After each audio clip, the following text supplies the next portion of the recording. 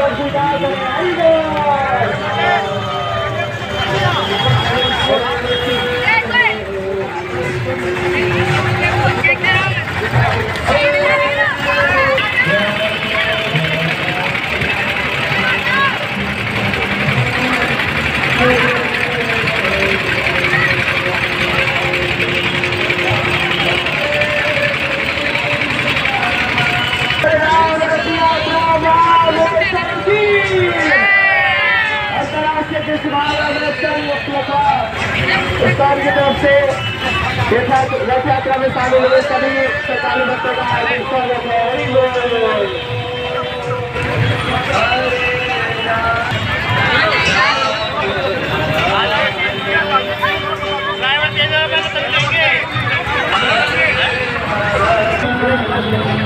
हम हमारे प्रिय प्रिय जी का आगे स्वागत करते हैं हरेश कुमार जी का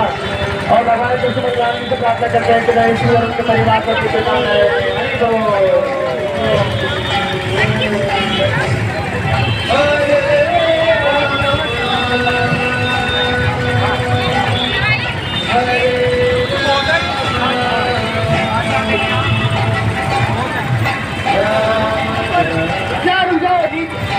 নিচে নিচে নিচে নিচে নিচে।